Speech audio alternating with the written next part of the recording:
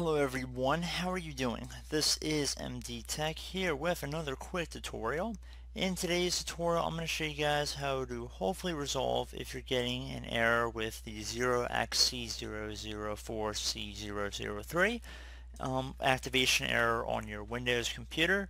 So hopefully this should be a pretty straightforward tutorial and without further ado let's jump right into it. So I do want to put one big disclaimer right up front if you are on this tutorial looking to get some free copy of Windows or you're using some illegitimate product key in order to activate your copy of Windows, this tutorial is not for you. Just turn off right now. Go to somebody else's video because this tutorial is not going to work for you in any way.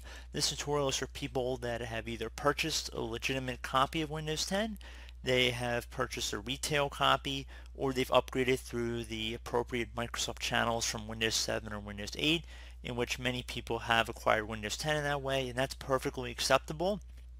But if you're on this tutorial looking for some free copy of Windows and you're trying to get it activated, this tutorial is not for you and neither is my channel. Just don't look on my channel for anything else. It doesn't have anything about that.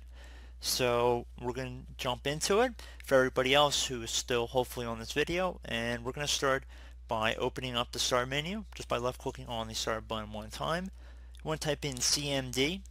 Best match should come back with command prompt. You want to right click on that and left click on run as administrator. If you receive a user account control prompt you want to left click on yes. So now you want to just type in SLMGR space and then you want to do a minus sign and then just type re so R-E-A-R-M so rearm so S-L-M-G-R space minus sign rearm then you want to hit enter on your keyboard one time should say that it has been run you're gonna have to restart your computer I did just run this about a couple minutes ago so that's why it's giving me a little error here but in most cases it should not say that and it should just say that you'll need to restart your computer. So again, would recommend just restarting your computer after you run that. Once you're done with that, you want to go back and restart your computer again, check to see if your version of Windows is now activated. If you're still having problems, you can go ahead and open up the start menu, type in regedit, R-E-G-E-D-I-T. Best match should come back with regedit. You want to right click on it and then left click on run as administrator. If you receive a user account control prompt, you want to left click on yes. Now we are in the registry editor here, so I'm just going to quickly back up for a minute. So before you do anything with the registry, I would suggest making a backup. So just go up to the File tab at the top, export it, and then just save it to a safe location. And then if you ever wanted to go back, if you made a mistake or something, just do File, Import and that's basically how you just import the file. Pretty straightforward. So now that we're in the registry editor, you want to go to the HKey local machine folder. So either double click on it or left on the little arrow next to it to expand it. And then you want to go down to software, same thing. And now you want to go down to a Microsoft, same deal as before. And now you want to go down to Windows NT. So I'm going to have to scroll down a little bit here and then there should be a folder once you've expanded Windows NT that says current version. On the right side there should be something that says product ID.